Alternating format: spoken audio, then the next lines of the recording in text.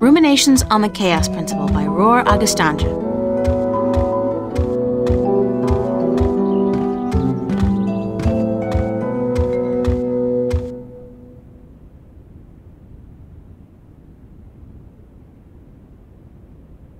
Be welcomed, stranger, to my abode. Stranger? Don't you remember me? You invited me here. Every moment we meet, and every moment we part. You are both stranger and friend, April Ryan. I'm sorry, but could you try to be a little less obtuse this time? I have a hard time understanding half of what you say.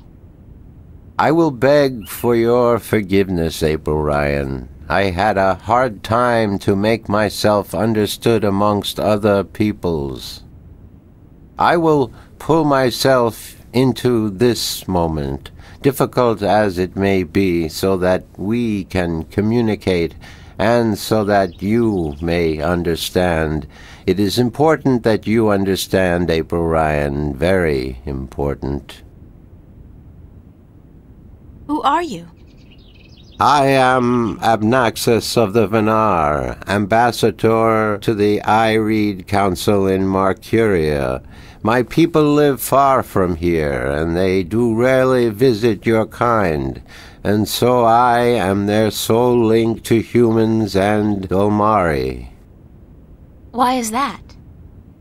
I alone among the Venar am able to focus on a particular moment and thread in time, and so to speak with those who flow with time, like you.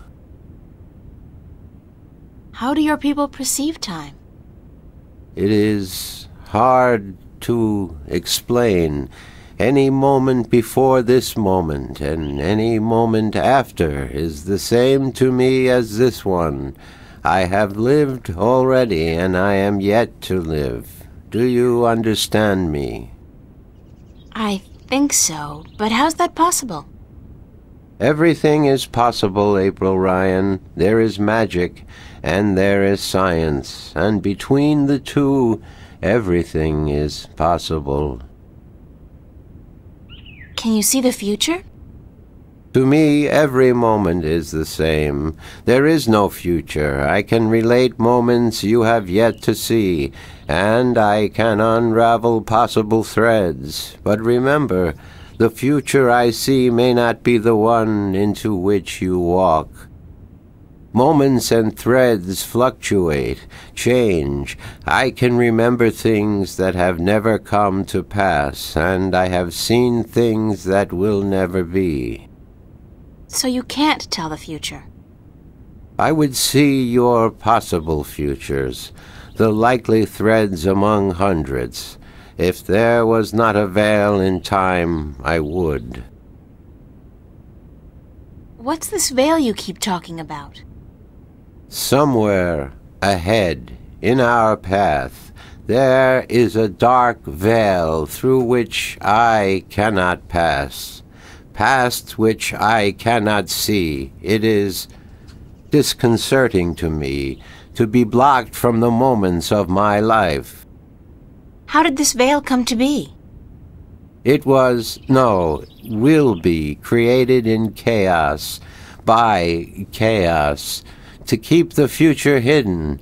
All threads converge on a single point here, beyond the veil, and this will happen only once. It is written. Written? Where? In the prophecies. Tell me about the prophecies.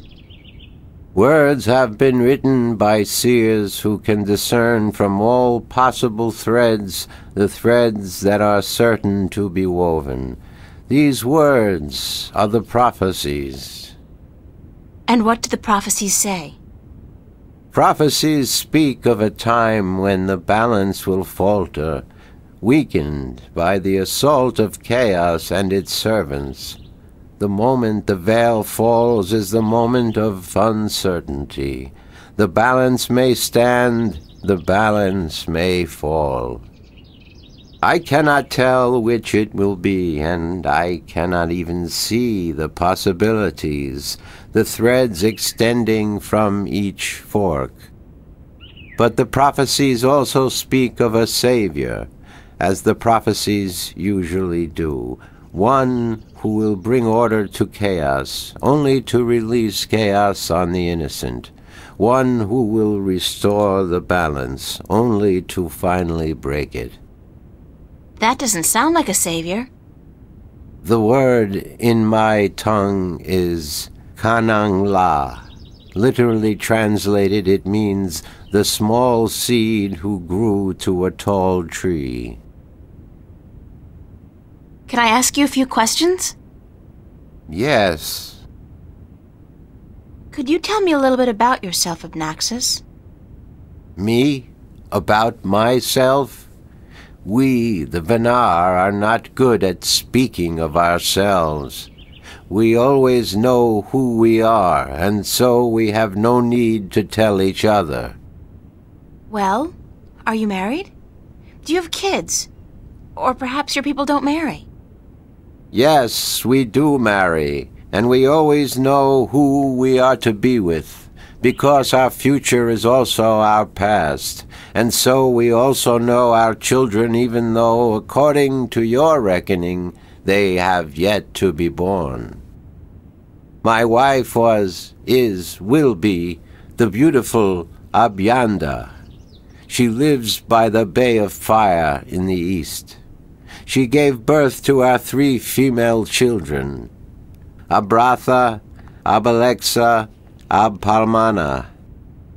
How long has it been since you last saw them? I see them now, April Ryan. Do not forget I perceive time in a different manner from your kind. I have given them your regards. Well, uh, say hi to them for me. Why did you come here to Marcuria?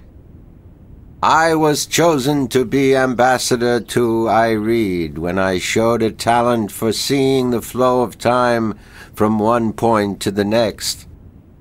I was trained for a long time in locking myself into a single moment to communicate and understand your world. My people do not normally involve themselves with others but the veil has forced us to do so. Why don't the Venar want to involve themselves with humans? In the wrong hands, our knowledge is dangerous. To know of the possible fluctuating futures, this can be a weapon to some who flow with time. We cannot interfere with your time. We are not allowed. Who says? The balance, the guardian, the Guardian watches not only the balance between worlds, but also the balance within. Time is in balance, and if this balance is upset, the Guardian would know. I thought the Guardian was gone.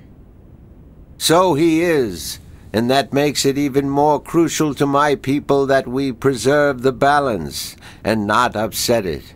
Chaos is our enemy, April Ryan, and we do our part to keep it at bay, as do you.